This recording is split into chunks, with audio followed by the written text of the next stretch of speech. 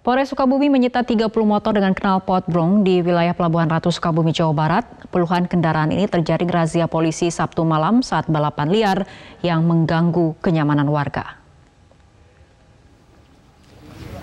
Sedikitnya 30 kendaraan roda dua berbagai jenis disita petugas Polres Sukabumi karena menggunakan knalpot brong yang bising sehingga meresahkan warga.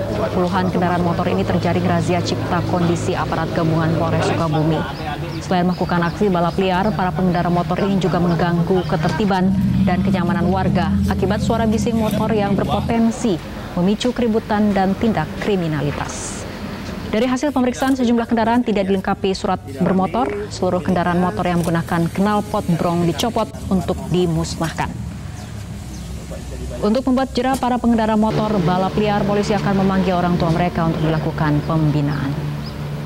Yang polisi ya, Tadi malam berhasil mengamankan kurang lebih 30 kendaraan bermotor roda dua dengan pengemudinya ada yang sendiri maupun berboncengan di beberapa TKP antara lain di seputaran alun-alun Pelabuhan Ratu, kemudian di lapangan Canghegar, kemudian di Pantai Cetepus dan Pantai Karanghawu.